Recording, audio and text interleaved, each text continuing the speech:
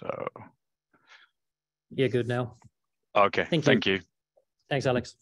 So yes, I'm Alexander Prent, and uh, on behalf of Marta uh, Klöcking from uh, Göttingen University and the whole team behind this this effort, I'm, I'm giving this presentation. Now, the initiative here is uh, co-funded by the European Union as a project uh, ran by the Committee on Data from the International Science Council and also co-funded by AuScope. It is really the One Geochemistry initiative, and that's aiming to bring together uh, international groups around geochemistry, so the analysis of rocks and the chemistry of rocks. Here, very aptly named, uh, the title specifying locally and harmonizing globally in terms of development of vocabularies.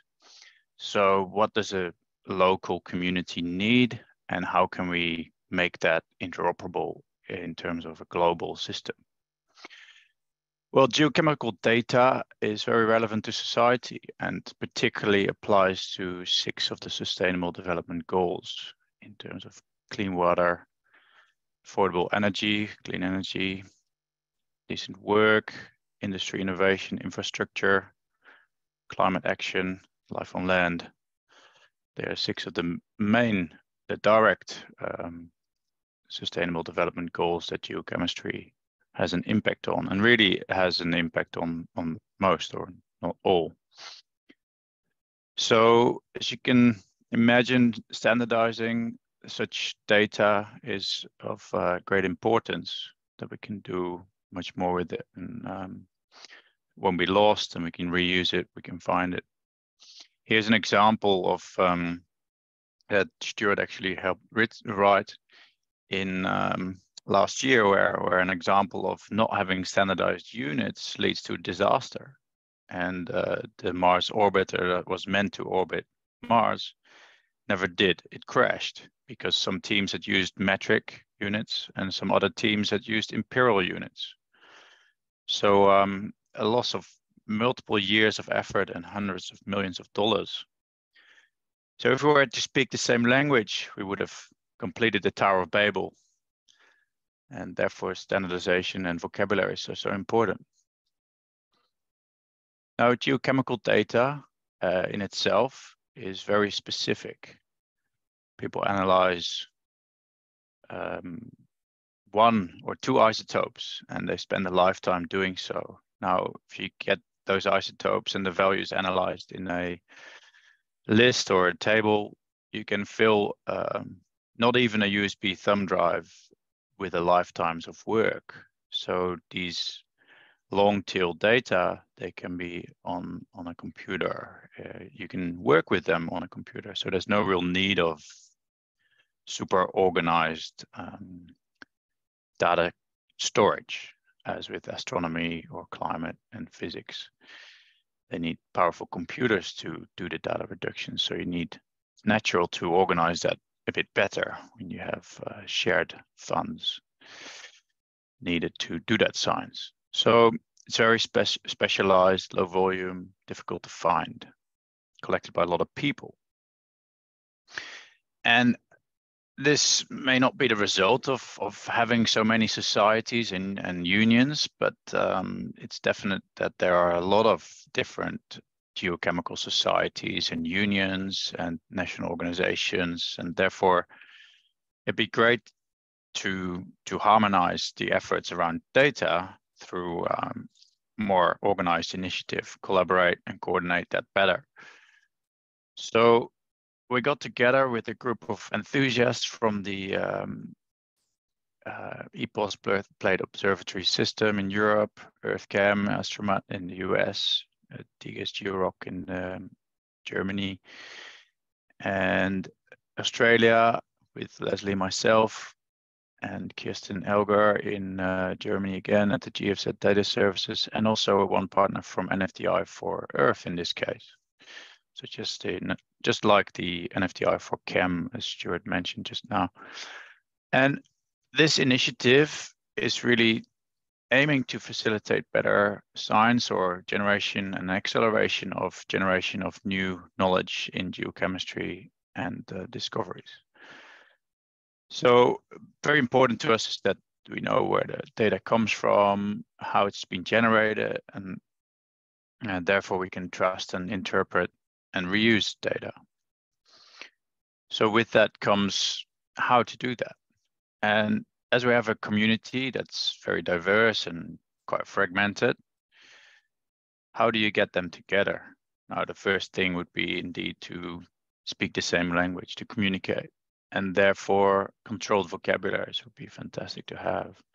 Enabling um, the um, real interoperability of all these fragmented data systems and, and, repositories and, and groups of people. So what do we need is an, an overview. What, what, where do we start? Okay, so getting together in one geochemistry was a, um, already a great start. So GEOROC, PetDB, they've got massive amounts of geochemical analyses, and Astromat and the AGN, the AuScope Geochemistry Network, are working together in getting a vocabulary registered with uh, Research Vocabularies Australia. Part of that is to have a vocabulary about samples. How do you describe the sample? What's necessary? What what concepts do we have? And make a full sample description because that's the core identity used to generate data around and everything is hopefully linked to that sample. Its geospatial location, then looking at the analysis, going to the analytical methods. And in the sample description, we've worked with Mindat. They've got a fantastic description of all minerals and lithologies you can basically imagine and they're working on that to make the machine actionable, machine readable. So you can look at that again in a different way. So components um, of a vocabulary would be the sample and the analysis, and then what uh, we have looked at how they have these commonalities. Analysis would analyze the lithology, a sample would be containing information about the lithology of that sample, for example. So description of the rock is uh, lithology in this case. So there you see a couple of components of a vocabulary and how we can have, we're aiming to have separate vocabularies that are connected. So vocabulary for a sample consisting of a vocabulary of a location and a vocabulary or terms and definitions about that location and the specimen. Now you can look at that in a, in a different way again. What components do we want to address? So what's the um, feature of interest here on the right? And how was the, um, uh, what geological information is used in that feature of interest? what's been observed, and what's what sensor and sampler and, and actuator have we have we used, and what kind of uh, initiatives have been um, busy with describing these things or providing vocabularies and terminologies for all these components. Now here, I think it's very uh, apt to hear about the drum and the initiative Simon Cox and of course the IUPAC, what, what's what's been going on there. Geochemistry is is really uh, geology and chemistry combined. So being maybe at that knife edge in in the middle, we never got ourselves organized to be either fully involved in chemistry or in geology. So never really developing these glossaries, but combining what's already out there can bring um, much more organization to this community. So hence, um, working together with them is really important, and we already do through um, the bigger project, the World Fair project, the CODATA project. What else has been done in the geochemistry domain? There's a lot of papers out there that describe best practices, and we've been collating these efforts and the aim is to make these best practices in more machine actionable uh, best practices and terminologies. So here's one, two, three, four, five, six, seven.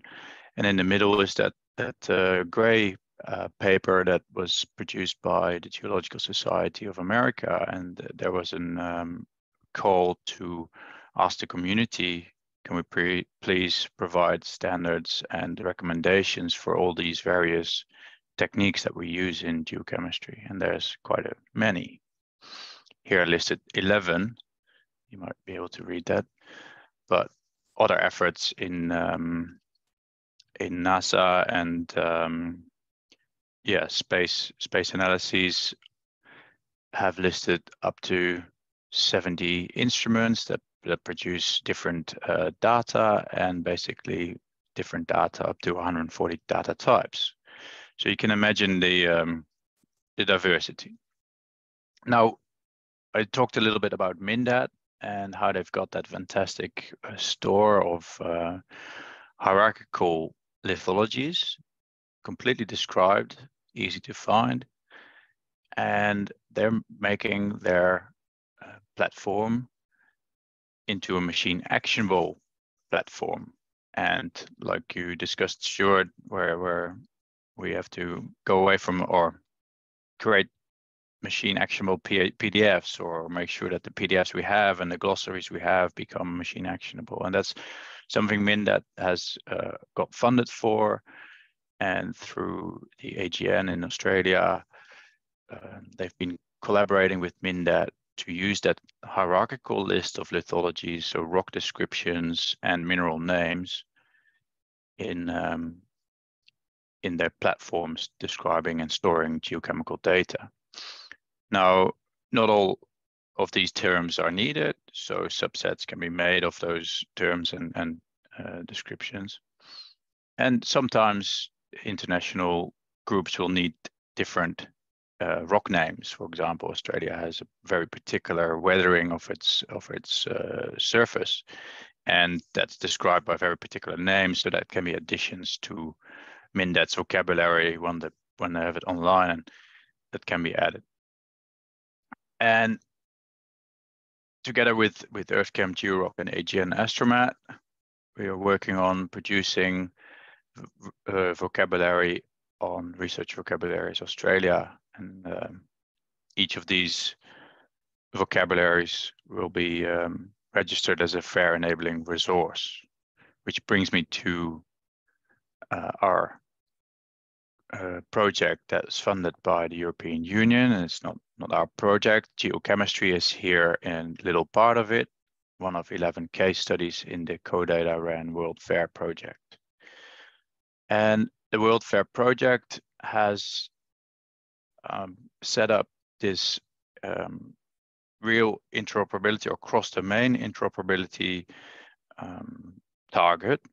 And one way to do that is through the FAIR implementation profiles, which basically list technologies that platforms use to bring data in the public domain and to make it machine actionable.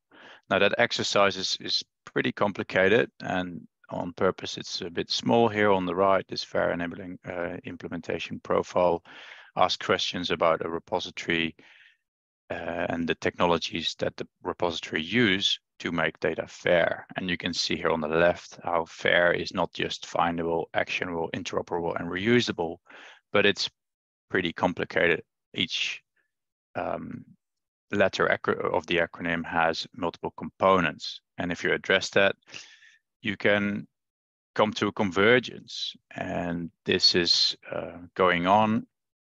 I should discuss this first.